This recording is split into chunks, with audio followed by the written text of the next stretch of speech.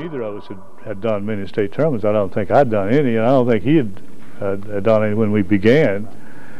And we'd go down there and work for a, forever writing cards out on these guys, and then on the various teams that we're going to play, numbers and this and that and the other. And then a lot of times they'd come on the court and the numbers weren't the same. So we had to do all the work just before the game would start. I, I remember those. That was pretty hectic, and, and getting the telephone lines through was always a problem.